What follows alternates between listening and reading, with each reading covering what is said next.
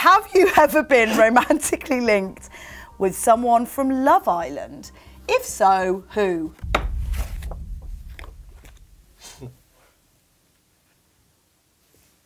We're all waiting, mate.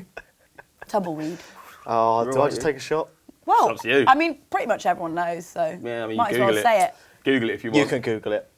Yeah, so you still So- got, you've either got to say it or take it. Oh, Ooh, crikey. Oh, no. Crikey on a bike. Amber Davis. hey, Done. there we go. I should have said that. Yeah, oh, too late now, son. Too late now. So what Saturday. happened? You went on a date. Just went on a date.